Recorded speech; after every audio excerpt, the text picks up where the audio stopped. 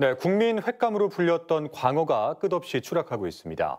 수입산 연어와 방어에 밀려서 소비가 크게 줄었기 때문인데 생산비도 못 건질 정도로 가격이 폭락하면서 어민들의 시름이 깊어지고 있습니다. 이동근 기자입니다. 완도에서 20년째 광어를 키우고 있는 이동은 씨. 수조마다 튼실한 광어가 출하를 앞두고 있지만 한숨만 나옵니다.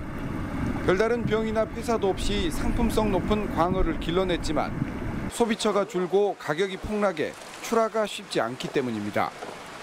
이렇게 키우고 있는 광어의 킬로그램당 생산비는 11,000원 정도입니다. 하지만 킬로그램당 가격은 만 원 밑으로 떨어져서 팔아도 손해를 보고 있습니다.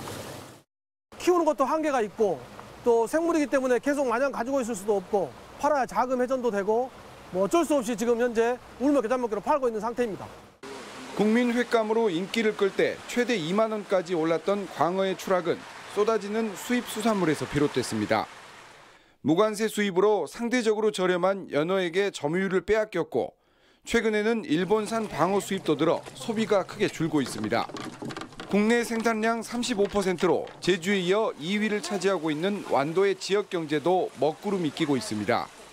수입되는 수산물에 대해서 좀 코트량을 정한다든지 또는 수산물이 들어왔을 때에 안전성 조사를 좀 더 강화시킨다든지 아, 이런 것들을 통해서 아, 국내 소비가 좀 더 활성화될 수 있는 그런 어, 계기가 됐으면 좋겠습니다.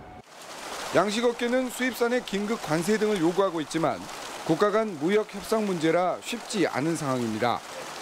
수매를 하더라도 저장성이 떨어져 가공식품 전환도 한계가 있어 결국 광어값 회복은 소비자의 몫이 되고 있습니다. KBC 이동근입니다.